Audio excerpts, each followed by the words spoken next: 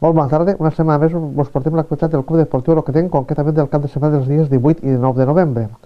Comencem, com sempre, amb el futbol base, amb els més petits, els prebenjamins, que tenim dos equips, el prebenjamin groc i el roig. Diem que el prebenjamin groc aquesta setmana no va jugar perquè tenia jornada de descans, al ser un grup imparell, i el que sí que va jugar és l'altre prebenjamí, el roig, que va jugar contra el Perelló, i va guanyar un partit de molts de gols per un contundent 11 a 3. Quan els equips benjamins, també tenim dos equips, com tots sabem, el Benjamí Groc rebia la visita del Gandesa i es va veure clarament superat per 0 gols a 10,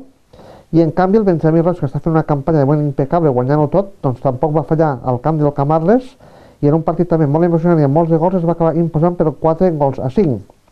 Gran campanya de moment del Benjamí Roig, el Roquetent, que ho ha guanyat tot fins ara. Passaríem a parlar ja del Alevi, que tenia una, un interessant derbi al camp del Catalònia, aquest cap de setmana va jugar a Jesús i van acabar empatant a 5. Un empat molt meritori perquè a 12 minuts del final el Roquetenc perdia per 5 gols a 2 i una gran remuntada final d'aquests 12 minuts finals va permetre al Roquetenc esgarrapar un valuós punt en aquest derbi contra el Catalònia. Per tant, bones sensacions també les que transmet la Levin aquestes darreres jornades. I quan el juvenil tenia aquí a casa un partit també complicat contra el José Maria i després d'haver guanyat el camp d'Ulldecona per 1 a 2, doncs empataria en aquest partit contra el José Maria per 2 a 2. Dos gols de David Òmedes permetrien al Roquetenc sumar com a mínim un punt davant d'aquest rival. I passaríem a parlar del primer equip del Club Deportiu Roquetenc, que tenia un partit complicat, el, sempre difícil, camp del Pinell, camp de terra, un camp, el, camp, el, el públic apreta moltíssim, però que el Roquetenc va estar molt ben posat damunt del camp, molt seriós durant tot el partit, que va acabar imposant-se per la mínima per 0 gols a 1.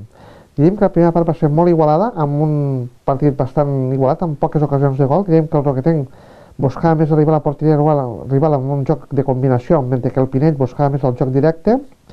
no va haver cap ocasió clara, com diem, la primera part fins al minut ja al límit del descans, quan l'Alpinent, doncs, en una sèrie de rebutjos, un jugador es va plantar sol davant del porter local Àlex, però el porter el Roquetec va estar sensacional i va poder rebutjar un 1 contra 1 davant del davanter rival i això va permetre marxar al descans amb el 0-0 inicial. I si aquest darrer minut de la primera part va ser decisiu, més decisiu va ser encara el primer minut de la represa, ja que al temps de començar la segona part, Òscar Camarero doncs, va recollir un rebuig de la defensa local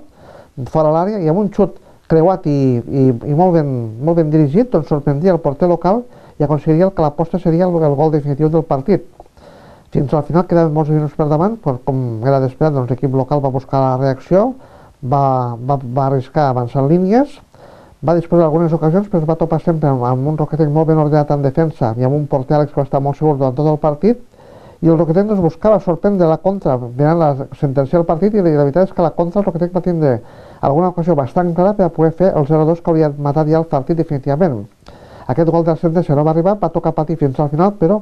ja diem, el Roquetenc va estar molt bé ahir en defensa, el porter Alex va estar molt segur durant tot el partit i, i molt eficient en bones aturades, i el Roquetenc que finalment acabaria sumant aquests valuosos 3 punts al camp del Pinell. Una classificació de tercera catalana que de moment continua calçada com una setmana més per l'Ampolla, que de moment porta un ple absolut, 12 partits, 12 victòries, impressionant la campanya de l'Ampolla, que té 36 punts, seguit molt de prop pel Mola Nova, que també està fent una gran temporada, amb 33. Tercer, a molta distància, seria l'Aldeana, amb 25 punts. El Remolins Vitem seria quart, amb 22. I el Roqueting el trobem instal·lat en, després d'aquesta victòria, amb setena posició, amb 18 punts, un bagatge de 19 gols a favor i 20 en contra. En una lliga de tercera catalana que tancarien el Corbera amb 8 punts i el Vilalba amb 4 punts. Per tant, el Roquetenc doncs, que porta ara una bona ratxa de resultats. Diríem que la, passaríem ja a parlar de la propera jornada dels equips del, del Roquetenc, diríem que quan els prebenjamins, quan sap els més petits, el prebenjamí groc va al camp de l'escola Delta, dissabte dia 25 a les 10 i mitja del matí, l'altre prebenjamí, el roig, va a Tortosa per jugar contra el Dertosa Blau, també el dissabte dia 25 pel matí en una hora que encara no està confirmada. Quan els dos equips de Benjamins diem que el Benjamí Groc va al, al Delta per jugar contra el Josep Maria Roig diumenge, en aquest cas diumenge, dia 26 a les 11 del matí, i el Benjamí Roig, que bueno, ha, estat una gran temporada, rebrà aquí a casa el Remolins Vitem el dissabte, dia 25, a les 10 i mitja del matí. Quan a l'Aleví, que també està fent una, està en un bon moment de joc, rebrà la visita del Santa Bàrbara B, dissabte, dia 25, a les 10 i mitja del matí, i quan el juvenil es desplaçarà a la Ribera d'Ebre per jugar contra l'Olímpic de Mora el dissabte, també dia 25, a les 12 del migdia. Per últim, parlem del primer equip del Club Deportiu Roquetenc, que té aquí a casa un partit de Lliga contra el Corbera, dissabte dia 25, a l'hora habitual de 2 quarts de 5 de la tarda. una bona oportunitat pel Roquetenc per sumar 3 punts més, però encara faria bé el Roquetenc de no refiar-se'n perquè el Corbera és un equip que no estigui donant gens bé les darreres temporades, el qual el Roquetenc no pot guanyar-lo en cap d'aquestes sis últimes confrontacions. Per tant, faria bé el Roquetenc de no refiar-se, tot i que el Corbera estigui a la part baixa de la Lliga, amb aquestes pressions el Roquetenc hauria de sortir ben, ben concentrat des de l'inici per mirar de sumar 3 punts més i afiançar-se en aquesta classificació de tercera catalana.